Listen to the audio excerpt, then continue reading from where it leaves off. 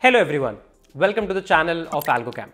So now on this particular channel, we are actually releasing a series on data structures and algorithms where we are going to talk about some of the most important data structures and algorithmic topics which are extremely, extremely important for your upcoming software engineering interviews. Apart from that, these are some of the, uh, I would say, topics that are very, very helpful in your day-to-day -day engineering job as well. We have already released a couple of series around searching, right? And we got a really good response on that. And from here, we are going to put really some awesome content around DSA. In most of these lectures, we will try to ensure that we focus on the intuition building aspect of the things that how you are able to think about something, what are some of the things that people actually neglect but are going to clear some of the really important fundamentals. We are going to see coding implementation, but trust me, my focus is not going to be on the language delivery aspect of the things that okay you have to code this in c++ or java. A lot of problems we have coded in multiple languages. Maybe some of the problems will be in c++ some will be only in javascript. I believe if you are somebody who is preparing for an interview language in 2025 should not be a constraint because most of the people can actually use chatgpt to do language conversions. So my motive here is to make sure that you understand the concept in depth. You actually see how exactly somebody might have thought about the problem when they were carving out the problem, what can be some initial thought process, how you can actually drive yourself towards the solution. I believe these are going to be some really important videos that will be really helpful for your upcoming career. So do let us know what is your feedback. Um, we are going to release a lot of more topics. Do let us know what all topics you want to have first, right? And uh, the feedback is going to be important. Also, in case you are actually thinking to level up, you want to learn things with respect to low level design, high level design, overall system design for interviews, or you are somebody who wants to do project development in Spring Boot, you want to learn advanced Spring Boot concepts or let's say advanced Node.js concepts, then we have a lot of courses, live courses running on algocamp.io. So you can check out the website courses.algocamp.io slash learn and there are a lot of courses that are actually listed. A lot of great discounts are actually going on all, all the courses as well do check them out for each and every single course. We are going to add you to a dedicated discord community where you can get your doubts resolved as well. All of the courses we have made sure that we talk about things from the very beginner to the very advanced level that is going to help you level up in your career as a software engineer. So that being said let's start the video without any further delay. So today we are going to start the discussion on something called as sorting now, if you have been involved in programming for quite some time, then you might have heard about this word sorting, right? But to be very honest, sorting as a term is very less understood in the overall computer science community. If you will go to your college or let's say if you will go to your department and you will ask, let's say 10 students that what do you mean by sorting?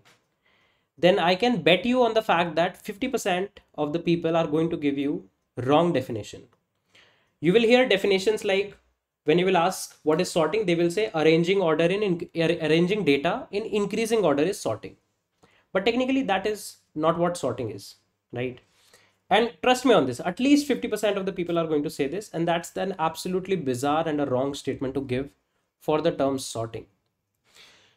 So, what is sorting? What actually is meant by sorting? So, there is a term that you might have heard in your elementary mathematics called as permutations. Right? What is permutations? Permutations are just arrangements. Right? Let's say you have a given set of data and you are going to arrange that set of data in some particular order. You are going to arrange in all possible arrangements that are actually called as permutation. And from this term permutation only, we get the definition of the word sorting. So what is sorting?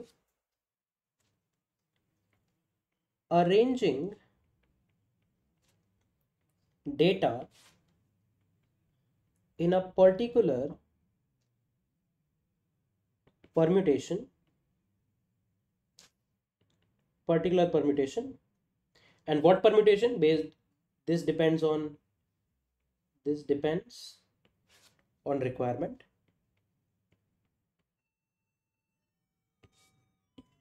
Right. So arranging data in particular permutation is called as sorting. Is called as sorting. Right.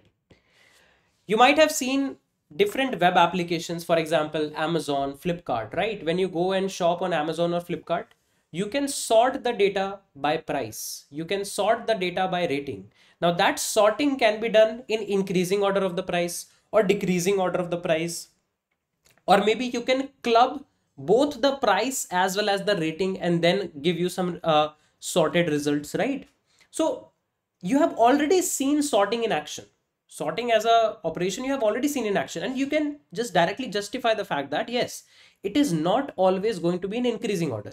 But this is a wrong notion that goes around that sorting means arranging something in increasing order. No. Sorting means arranging data in some particular order in some particular permutation if you arrange your data that is sorting. Now that arrangement or that permutation can be increasing order decreasing order or maybe something else. Maybe something else. Maybe you want to arrange them in zigzag order. Increasing decreasing increasing decreasing something like that. That is also kind of like sorting right? So that is what the meaning of sorting is. And to be very honest sorting is one of the most important problems in computer science. Because i just said right if you go to applications like flipkart amazon you see sorting there. Any e-commerce you go Myntra you can see sorting there right? If you go to your let's say music player applications like Amazon Music, Spotify, Apple Music, you can sort your songs based on their let's say ratings or demands or something like that. Let's say you want to sort the song based on most played songs. These kind of sortings are available there also. You can arrange your playlist according to you, right? You can create an arrangement of yourself in your playlist. So this problem of arrangements or this problem of permutations is very important. And that's why we are going to learn a lot of sorting algorithms that will make sense. Based on what problem do we have, these sorting algorithms are going to make sense. And we will understand the nuances behind these sorting algorithms. We are going to understand what is the basic technique behind these sorting algorithms and so on. So I hope the overall definition of what sorting is, is clear to everyone. So before moving forward in the video, I would like to talk about the new System Design 2.0 cohort that we have recently launched. If you're somebody who is actually willing to apply for a lot of product based companies and you are technically confused on where to actually prepare for low level design, high level design and machine coding rounds, then you are actually at the right place. In the new system design cohort, we are going to actually include all the relevant concepts around high level design, low level design, machine coding. And this time we have kept it kind of like bigger and better. This time we have specifically added a lot of company specific interview problems solving both in HLD and LLD.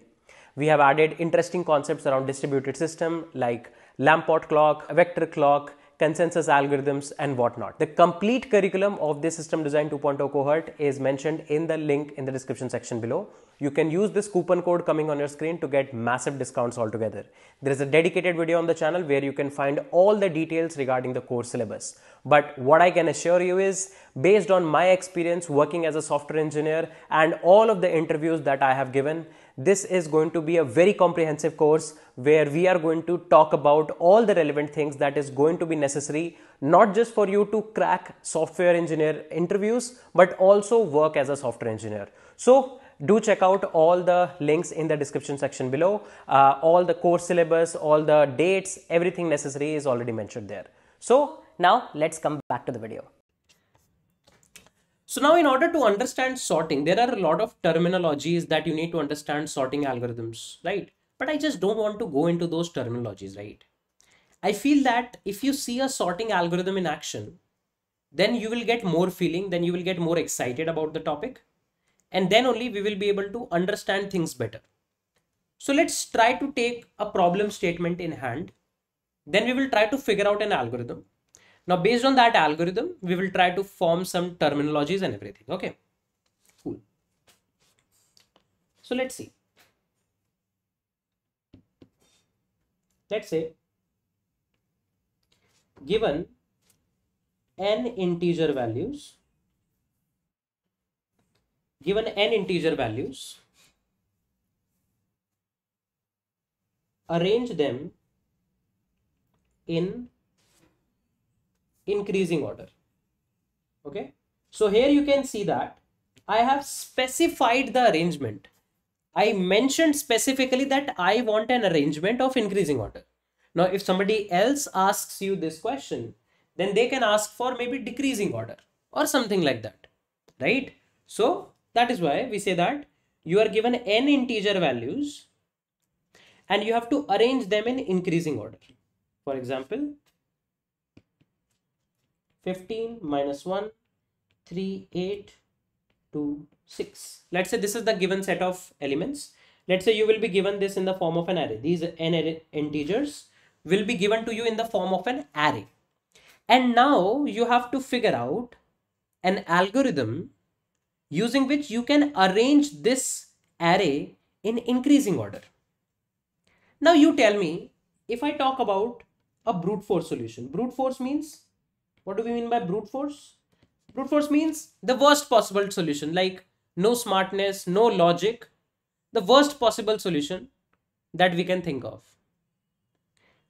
I would say what will be the brute force or the worst, worst possible solution if you will go and ask some people no like this is also a very wrong myth that goes in the industry like again you pick any 10 persons and ask this question that what is the worst way of doing a sorting or arranging elements in increasing order a lot of people will answer you something called as bubble sort we will learn about bubble sort some people will answer you things like bubble sort or maybe selection sort some people will say that if anyone is saying that the worst possible algorithm to arrange elements in a particular order is bubble sort, stop talking to them. Okay. Just know one thing that they know nothing. Okay. So we will talk about what will be the worst possible solution in order to arrange the elements in increasing order, right? Just think about it. What I what did I tell you? What is arrangement? arrangement means permutations right arrangement means permutations so how about how about without putting much brain without putting much brain what we can do is we can generate all possible permutations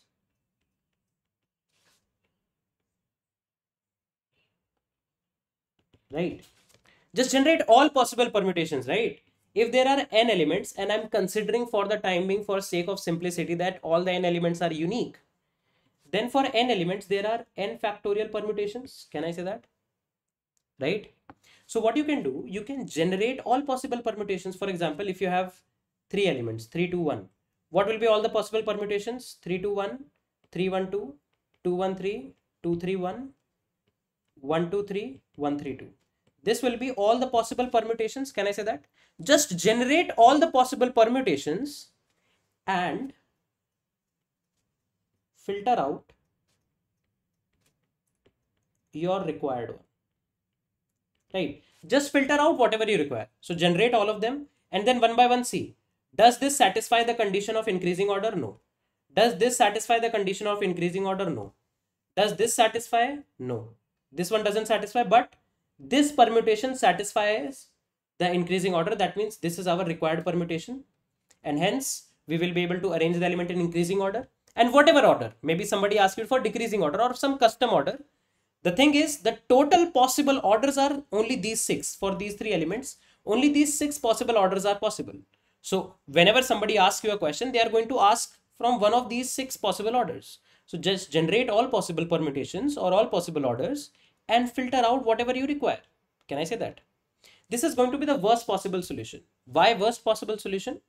Because if there are n elements, there are n factorial permutations. Just think about it. If for some time I consider that you require k unit, order of k unit to generate one permutation, then to generate n factorial permutation, you will require order of k into n factorial and n factorial is one of the fastest growing i would say function with respect to the other functions which are linear quadratic and everything so order of k n factorial is going to be equivalent to order of n factorial only. So you will at least require somewhere around order of n factorial to arrange all the possible permutations. And the other algorithm that uh, the that the people will answer you the, regarding bubble sort and selection sort all of them runs faster than this right? That is why this is the worst possible solution that you can give for a sorting algorithm right? Now you might be thinking how to generate this you can very easily generate it using recursion. We can maybe discuss it about it later also. No problem on that. But my point being that you have to just generate all possible permutations filter out your permutation and that's it. And it, this whole algorithm is going to take approximately somewhere around order of n factorial. To generate permutation there is a backtracking based solution that we will be learning later. No worries on that part. But this is the answer. If somebody asks you the brute force solution for the problem of sorting so now we know that what's the worst possible algorithm to generate all possible permutations. If that's the case, then how can we optimize it? Because definitely n factorial is extremely high, right? So there are a lot of algorithms, not one, not two, not three, but there are a lot of algorithms that can optimize this problem. Some of the algorithms that we will be learning through in this series is going to be bubble sort, it one is going to be selection sort we will be learning insertion sort we will learn counting sort there is an algorithm very famous very important merge sort there is quick sort there are a few more sorting algorithms radix sort bucket sort those are not that important but still we might just skim through them right? So we are going to learn a lot of sorting algorithms. And there is no set solution to the problem of sorting because depending on the situation what do you want to do? There are different algorithms that you can use. Some people will say that bubble sort is the worst. First of all bubble sort is not the worst. You know the worst algorithm. But if somebody some people just compare bubble sort and selection sort then there will be cases where selection sort will be far more superior than bubble sort but if you just see both of them with respect to the worst case time complexity then the worst case time complexity is going to be same.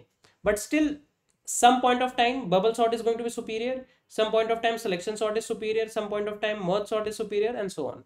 So we'll discuss all of the cases. We will be learning all of these sorting algorithms one by one and we will get the hang of what actually is the algorithm where it is used how to code it and so on